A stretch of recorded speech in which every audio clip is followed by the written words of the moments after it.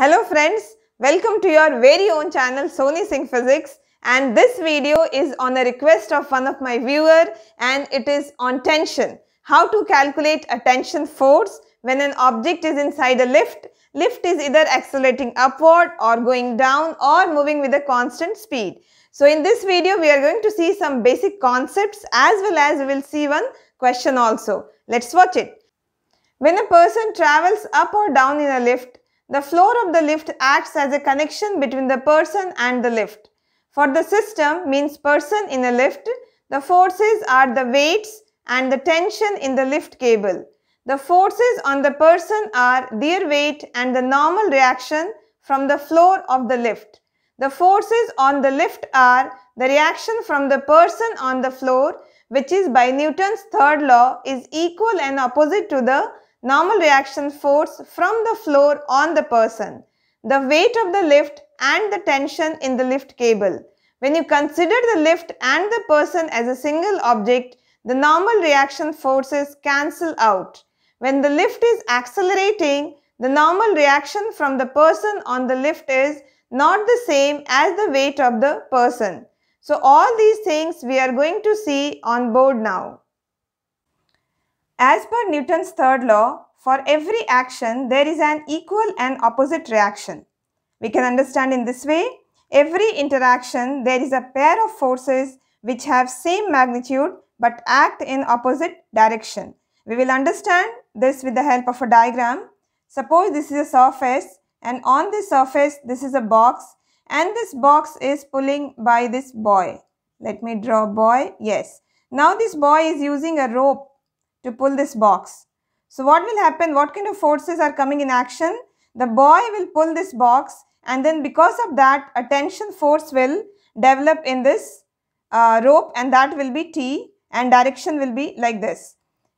Because of this tension, this box will also apply a force which will be opposite in direction but same in magnitude. So there will be another T.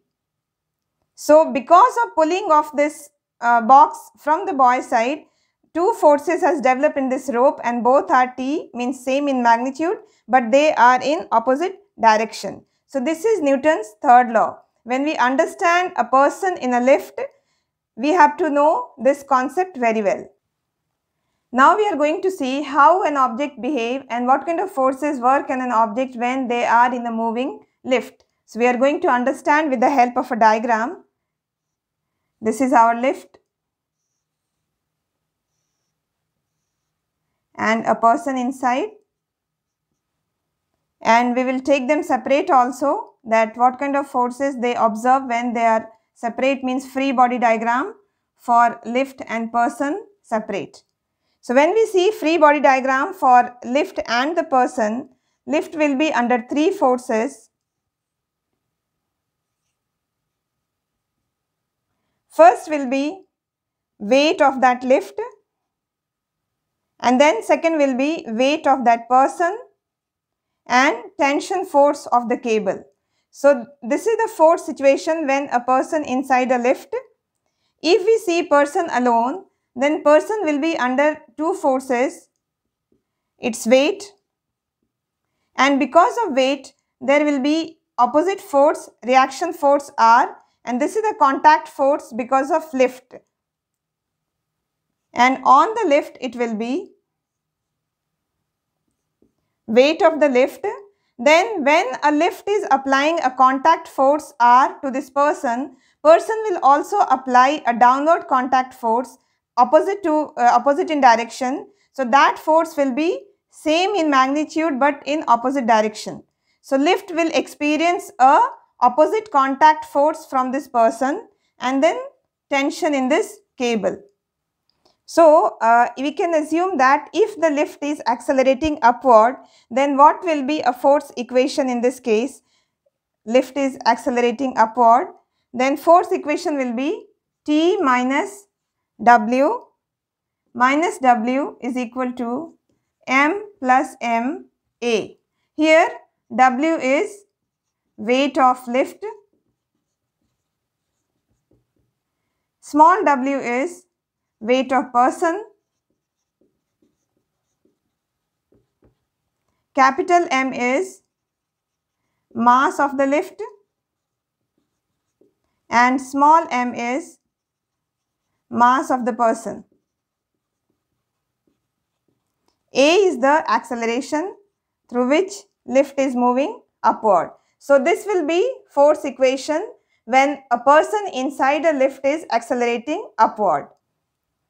Now we'll see uh, this person will be under which forces when the lift is accelerating upward. What will be the force equation for this person? So that will be since it is accelerating upward it will be R minus W will be equal to MA. So this is force equation for person and now we'll see for lift separate that will be T minus W plus R will be equal to MA. Now we are going to see one sample question to understand how to apply these equations.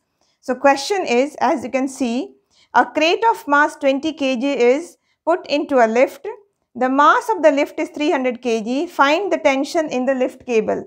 And then there are three situations given when the lift accelerates upward at 0.3 meter per second square. Then second situation when the lift travels at constant speed. And third situation when the lift accelerates downward at 0.3 meter per second square. So, we will see how we are going to solve it. So, so we will solve this question First, we'll draw a diagram for this. We'll draw a lift. This is our lift and crate inside. Mass of the crate is small m is given as 20 kg. So, mg will be equal to 200 Newton. Then, mass of the lift is capital M. Mass of the lift is 300 kg. So, mg will be equal to 3000 Newton. Now we'll see equation. So first situation is when the lift when the lift accelerates upward with A is equal to 0.3 meter per second square. So for this situation lift is accelerating upward. So what kind of forces will be here? Weight of the lift, weight of this crate and then tension in the cable. So, we will write a equation T minus W minus W will be equal to M plus M A. So, T is how much we have to calculate T. So, now we are going to put all the values. T will be equal to M plus M A plus W and W. Now, we will put all the values in this equation. So, what it will be? 320 into 0.3 plus 3000 plus 200.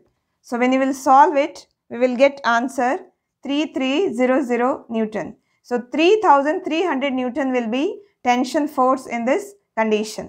Now we'll move on to next condition.